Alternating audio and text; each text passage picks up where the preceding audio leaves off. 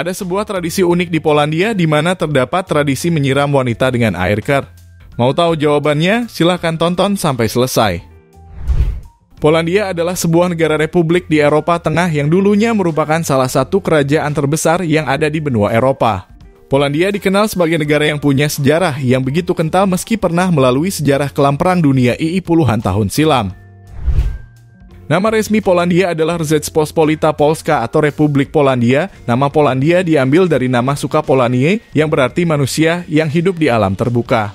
Polandia mendeklarasikan kemerdekaannya dari Rusia dan deklarasi negara republiknya pada 11 November 1918.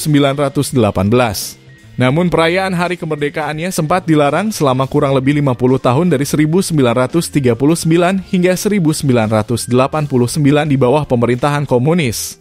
Polandia jadi satu-satunya negara Eropa yang nggak pernah bekerja sama dengan Nazi, nggak menyerah dan terus melakukan perlawanan terhadap upaya pendudukan Jerman selama Perang Dunia berlangsung. Sekitar 85% bangunan di kota Warsawa hancur selama Perang Dunia II. Pasca perang berakhir, kota dibangun kembali tanpa perencanaan matang sehingga hasilnya kurang memuaskan di mata para penduduknya. Namun kota kuno Warsawa kini sudah terdaftar dalam UNESCO World Heritage Site. Bendera Polandia sangat familiar karena mengingatkan kita dengan bendera merah putih. Bedanya warna putih menjadi bagian atasnya sedangkan warna merah menjadi bagian bawahnya. Warna merah dan putih ini berasal dari emblem khas Polandia yang bergambarkan elang putih dalam bingkai merah dalam bidang warna putih. Polandia juga dikenal sebagai salah satu negara penghasil buah apel terbesar di dunia setelah Tiongkok, Amerika Serikat, dan Turki. Selanjutnya kami akan mengajak Bang Bro semua untuk melihat fakta-fakta menarik tentang negara Polandia, apa saja ya Bang Bro? Lokasi geografis Polandia terletak di Eropa Tengah dan berbatasan dengan Jerman di barat, Ceko dan Slovakia di selatan, Ukraina di timur, Belarus di timur laut, dan Laut Baltik dan Laut Utara di utara. Ibu kota Ibu kota Polandia adalah Warsawa yang juga merupakan kota terbesar di negara ini. Bahasa Polandia dianggap sebagai bahasa paling sulit bagi orang asing karena pengucapannya yang harus membengkokkan lidah dan adanya sistem gender rumit yang membedakannya. Sejarah panjang Polandia memiliki sejarah yang kaya dan panjang dengan beberapa periode kejayaan dan kejatuhan. Negara ini pernah menjadi salah satu kerajaan terbesar di Eropa pada abad pertengahan. Orang-orang Polandia dikenal sangat religius, dengan mayoritas penduduknya memeluk agama Katolik. Perkembangan ekonomi Polandia selama beberapa dekade terakhir telah menjadi sorotan dengan negara ini mengalami pertumbuhan yang signifikan dan transformasi ekonomi setelah jatuhnya rezim komunis.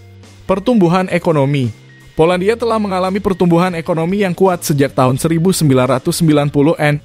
Pertumbuhan rata-rata tahunan produk domestik bruto PDB sekitar 4 hingga 5 persen dalam dua dekade terakhir.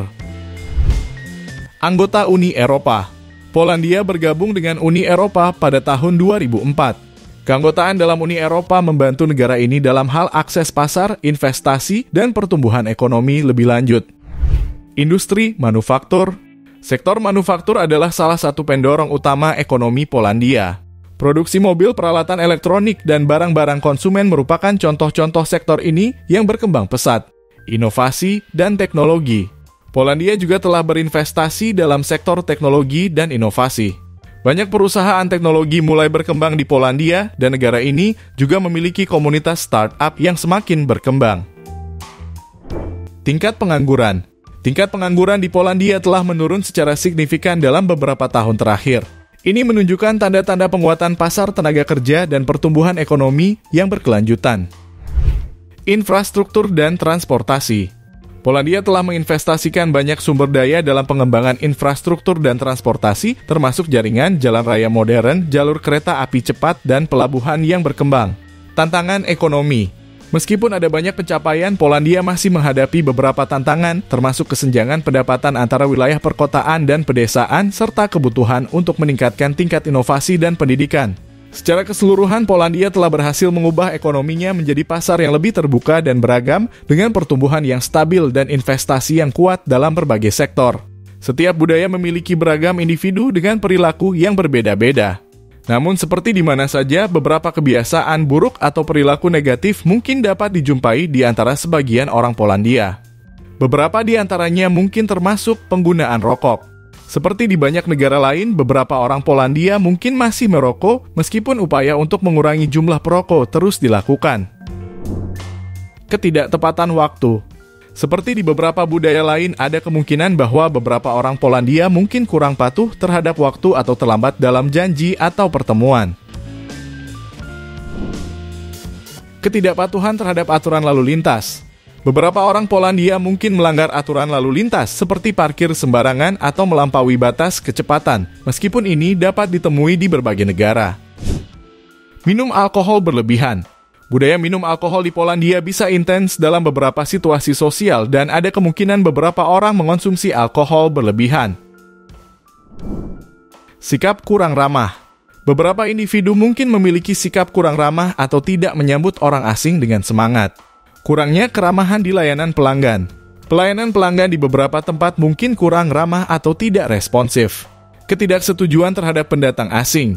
Seperti di banyak negara, ada kemungkinan bahwa beberapa orang Polandia mungkin memiliki sikap kurang positif terhadap pendatang asing atau kelompok minoritas.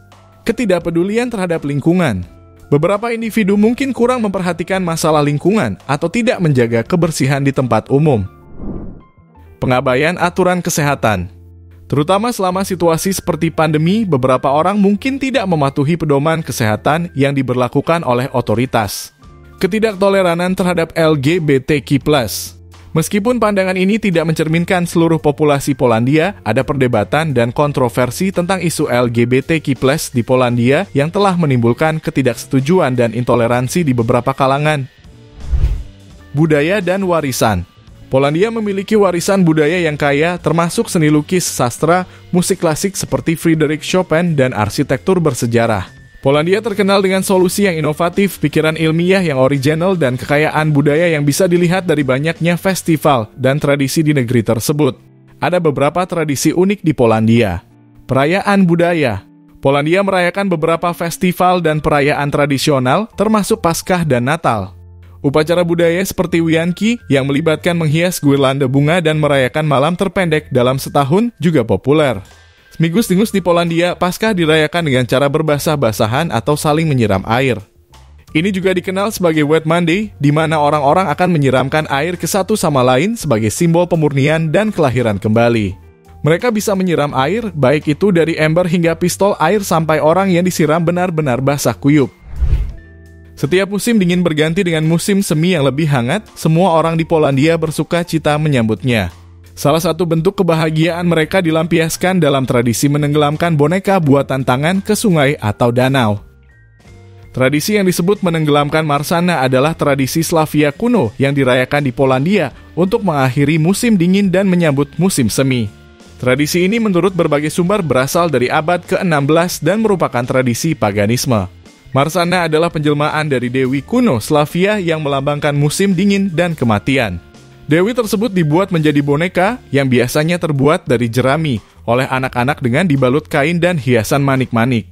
Setiap sore hari pada 21 Maret, anak-anak membawa boneka tersebut untuk dibakar dan dibuang ke dalam danau atau sungai sambil menyanyikan lagu-lagu tradisional.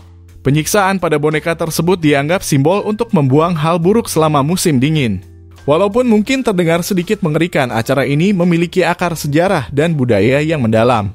Hingga kini tradisi tersebut masih dilangsungkan sebagai tradisi menarik yang layak ditonton. Krakow Kota tua Krakow adalah salah satu tujuan wisata utama di Polandia.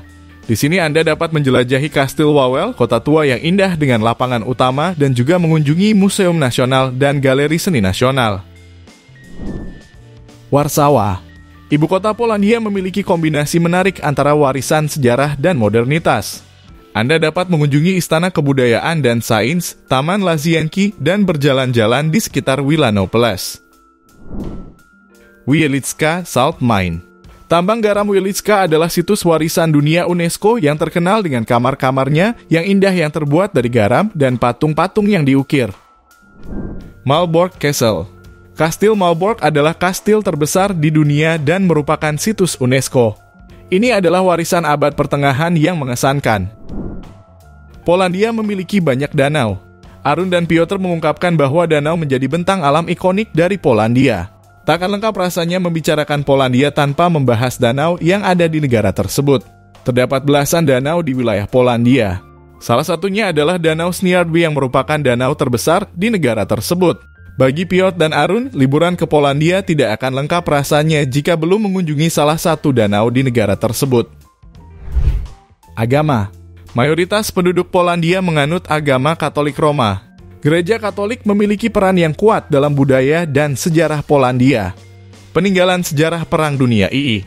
Polandia adalah salah satu negara yang paling terdampak oleh Perang Dunia II. Banyak situs bersejarah terkait Holocaust dan pertempuran besar dapat ditemukan di Polandia. Pulihnya demokrasi setelah periode komunisme yang panjang, Polandia bertransisi menjadi negara demokrasi. Negara ini memiliki sistem pemerintahan republik parlementer. Keanggotaan NATO Polandia adalah anggota dari organisasi perjanjian NATO dan negara ini memiliki hubungan keamanan yang kuat dengan negara-negara anggota NATO lainnya. Masakan tradisional Masakan Polandia terkenal dengan hidangan-hidangan seperti pierogi semacam dumpling, bigostel, dan kielbasa sosis. Keajaiban alam Taman Nasional Tatra adalah wilayah pegunungan yang indah dan merupakan bagian dari pegunungan Karpaten. Ini adalah tempat yang populer bagi para pendaki dan pecinta alam. Holocaust setelah mengalahkan tentara Polandia pada September 1939, pasukan Jerman menindas rakyat Polandia secara keji dengan membantai ribuan warga sipil, menerapkan program kerja paksa besar-besaran dan merelokasi ratusan ribu warga. Ketika itu kebijakan Jerman dimaksudkan untuk menghancurkan bangsa dan kebudayaan Polandia serta secara kejam mengeksploitasi kaum petani dan pekerja Polandia. Jerman membantai ribuan lebih pimpinan sipil Polandia dari berbagai kalangan, serta banyak lagi yang dikirim ke kamp-kamp konsentrasi. Timnas Polandia merupakan salah satu timnas sepak bola asal benua Eropa. Polandia merupakan salah satu tim kuda hitam di tiap kompetisi yang diikuti, bahkan pernah mencapai babak semifinal Piala Dunia tahun 1974 dan 1982. Beberapa pemain terbaik dari Polandia yang legendaris misalnya Zbigniew Boniek, Grzegorz Slato, Władysław Smuda, hingga Robert Lewandowski. Secara umum, era kejayaan Polandia terjadi di era 70N dan 80N. Di era 70N Polandia sukses meraih medali emas Olimpiade 1972 dan sukses menembus babak semifinal Piala Dunia 1974. Polandia kemudian kembali mencapai babak semifinal di Piala Dunia 1982.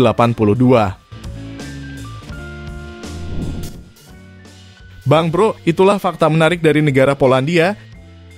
Jika ada kesalahan dalam pembuatan video, mari kita diskusi bersama di kolom komentar. Terima kasih sudah menonton, sampai ketemu di Fakta Negara Nepal.